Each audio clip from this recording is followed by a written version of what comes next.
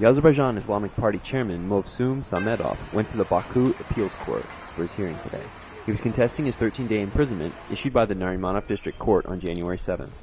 Judge Abinbayov upheld the original Narimanov District Court decision without any amendments.